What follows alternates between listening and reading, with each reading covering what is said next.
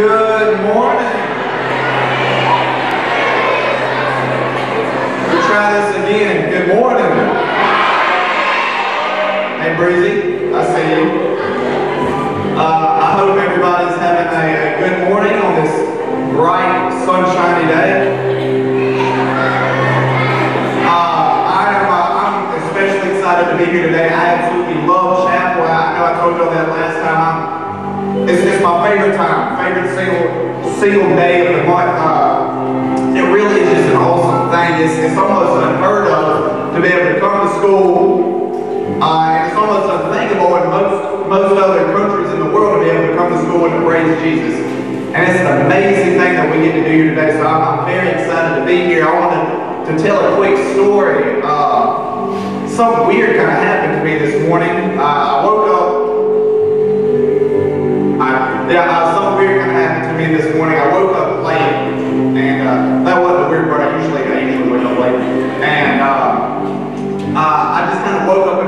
I don't know if that's ever happened to anybody in here. Nobody ever wakes up in a bad mood in here, do they? Especially on school days. And uh, I woke up kind of in a bad mood. I woke up late. I didn't get to do everything I wanted to do in the morning, and uh, I remember getting in my car. And I was just thinking, I should have been thinking this, I was just thinking, today is probably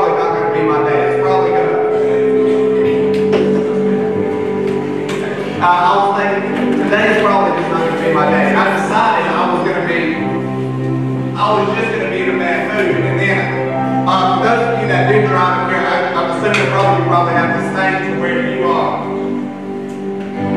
You, uh, you got, uh, okay, you got uh, the Bluetooth in your truck. I just got a new truck. And so it's weird for me, and I forget that it happens, that whenever I get to my truck, that my Bluetooth is going to connect. And so every once in a while, depending on what song decides to suddenly jump on there, sometimes I'm like, ah, and you know, it's scary. If like, it's something like Hardy, but I got in my truck, and this song that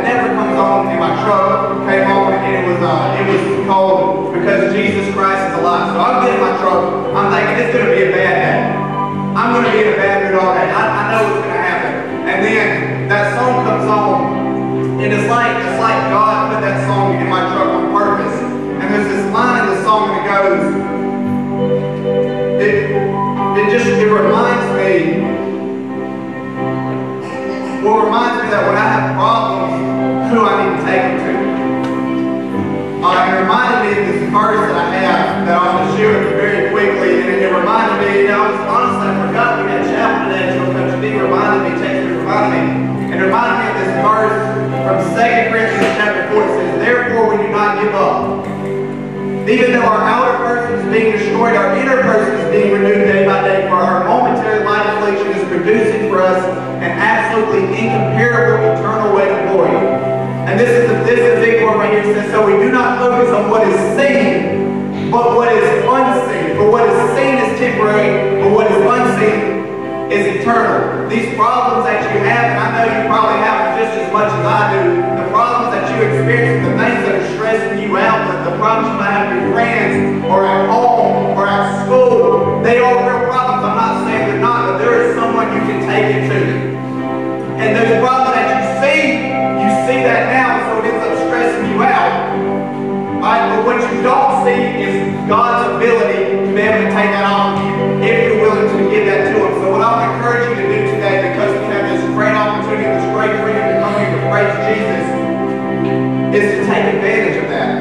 I think sometimes we tempted when we come in here to, to we don't want to sing to Jesus, we don't want to praise God because you're afraid that you might get embarrassed with the person next to you, you got your friends right there. Don't forget who you're praising. Don't forget who you're singing to, and don't forget that you have an opportunity to come in here while you're in here to lay the problems that you have right now that are stressing you out, that is bothering you, that it seems to be controlling your life, and to give it to God. So that's what I'm encourage you to do. Just like I had the opportunity to do this morning, like God basically told me I do this morning, is whatever was bothering me, to give it to God. And so you have that opportunity to do now. Uh, I'm, I'm excited to be here praise band this morning. I always love hearing from you guys. You're an amazing family. Uh, we will go and I'll, hand it off to them, and uh, I'll encourage you to take advantage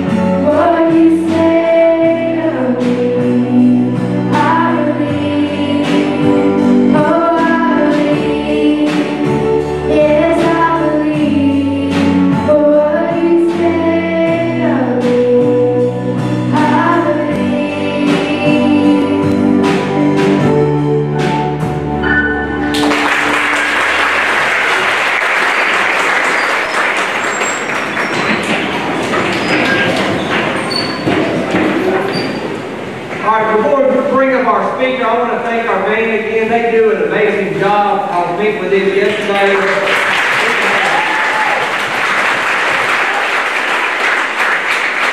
I was meeting with everybody and telling them how much God is using them. I have a four-year-old. She's in our K-3 uh, program, and she loves that song that we just uh, sang. And a couple weeks ago, we had pulling up, you know, watching on the phone, and uh, she was kind of upset because it was not score in the chapel band that was singing it. So I told them, um, I think she thought they made up that song, and I was trying to explain to her somebody else, you know, created the song, and they are singing too. So thank you for what y'all do. I'm gonna bring up Bradley Cruz. He's from uh, First Baptist Church in Blakely. He's gonna be our guest speaker. So let's give him a warm. Thanks,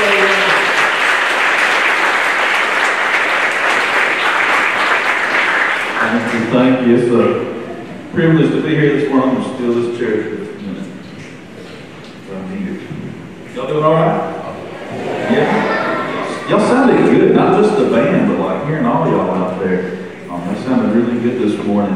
Uh, it's a little wet outside, right? Just a little. Yeah, when I left the house this morning, I was really wondering if I was going to make it. I thought I needed a boat just to get out of the yard. Um, and uh, then on the way here, it was coming down really, really hard. Um, but water's a big deal, right? I mean, we, we, we need water to survive. Our bodies are mostly water, if you know anything about that. Uh, and in order to uh, keep living, we need to drink water, right? Um, well, what kind of water you, do you want to drink? Clean, pure water, right? That's, that's nice and, and clear and, and, looks good, kind of like this, right?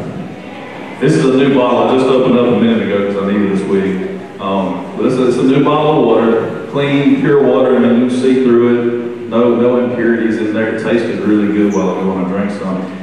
And so we, we like that kind of water, right? And so, but like if you went outside, if you said, hey, I'm thirsty, and you went outside and you saw a puddle of water outside, are you just going to dip down and drink something out of it? Wow. It's nasty, right? It's, it's gross. It's kind of like this this morning. Like I said, there's a lot of water in our yard, so I walked out to the end of our uh, garage there and dipped some water out of the puddle. The thing is, in our yard, we got a couple of dogs. And so when you dip water out of the yard, it's not just dirt and grass and stuff like that in there. There's also some other things floating around in the water. Um, and so if I gave you this, would anybody drink it? No, because it's, it's nasty, right? It's gross. It's been contaminated. Okay? And so we, we wouldn't drink anything like that. But, but here's the deal. When you, when you look at the Bible, especially when you go all the way back to, to Genesis and, and the creation, when God created everything, when he made Adam and Eve, when he first made man, he made us to be pure, right? Uh, he created Adam and Eve in his image, created all of us still in his image. But he created us to be pure, like this water that's clean, it's purified. I took the label off, but the label said purified, okay? Um, so it's been clean. And that's the way God intended for us to be. But then this little thing came in the world, this big thing really, it's a, it's a little word called sin, right? And sin is anything that we think, say, or do that goes against God's word, that goes against God's will for our lives. Um, and what that sin does is it makes us dirty, makes us unclean. Um, and, and, the Bible talks about this sin in this way. In, in the book of Romans, it tells us that nobody's perfect. Uh, ever since the, in the garden, when Adam and Eve, when they ate that fruit, sin entered the world. And from then on out, all humanity has been made dirty because of that sin. Um, and, and, and the problem with that is, in Romans it tells us that because of that sin, God's word tells us that we deserve punishment. But we're no longer pure. We, we, can't, we can't be with God because of that impurity. But the thing is, God did something about that. But, but before I get to that, one thing about dirty water is this. I'm going to do this real quick.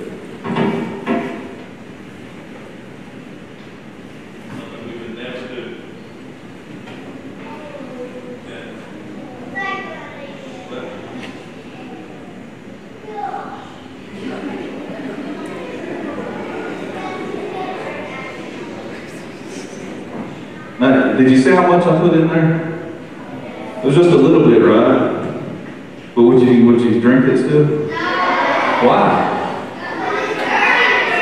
Because it's dirty, right? See, here's here's the problem that we have as humans. Sometimes we think we're good enough. Okay? We think, well, you know, I've never really done anything bad. I mean, yeah, maybe I told that a little white lie. You know, maybe I told my teacher uh, did my homework, I just left it at home.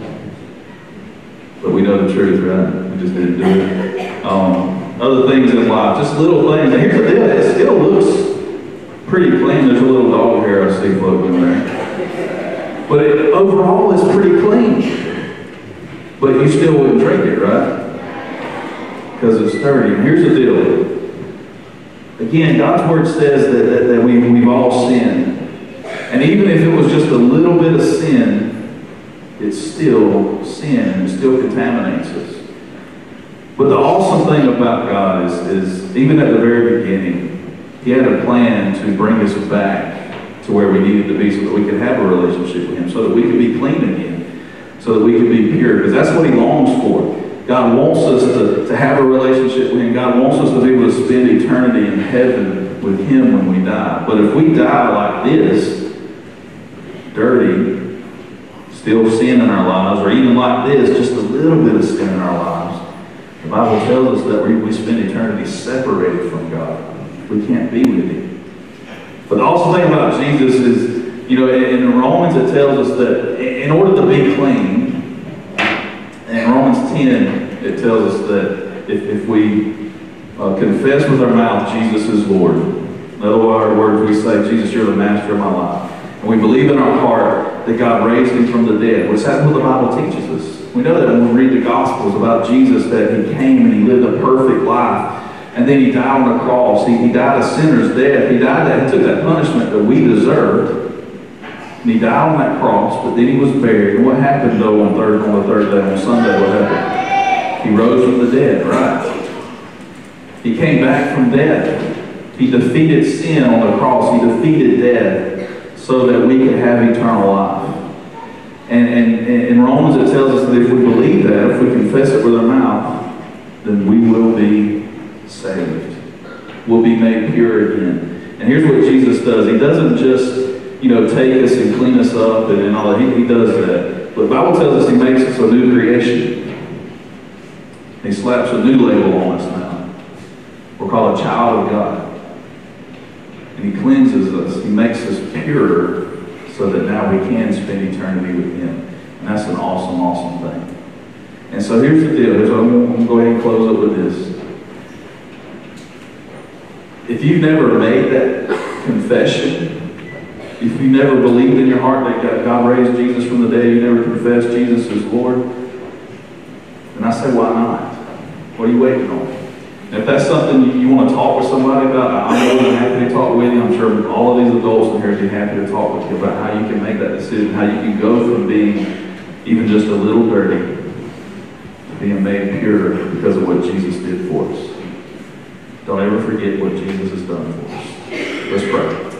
Well, God, we thank you so much for this day. We thank you for, for who you are. Thank you for the cross, Lord Jesus. Thank you for the fact that you came, you lived a life that we couldn't live, then you died a death and paid a price that we owed.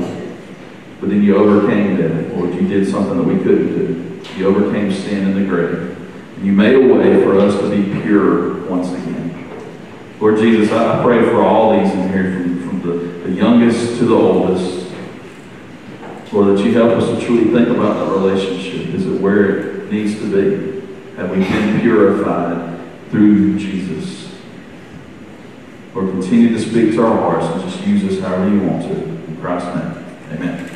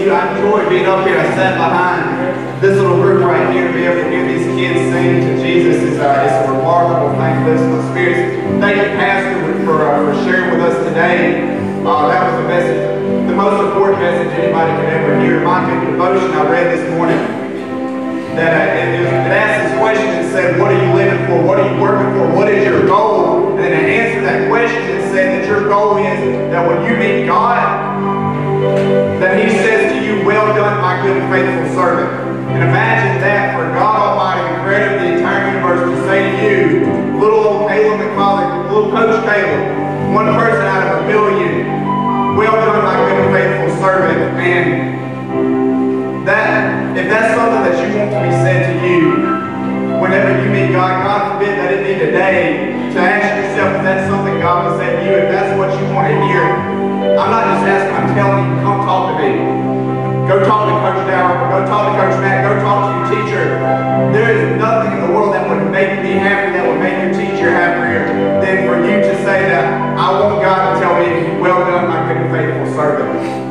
Uh, thank y'all again for being here. Thank you for the parents that came to, to hear God's word today. Uh, we will close in prayer and then we will uh, we'll ask our K3 followed by K4 and K5 to, uh, back. Uh, you bow your heads in Jesus. Thank you. Thank you for the opportunity to come here to praise you, Lord God, that we have that freedom that you gave to us.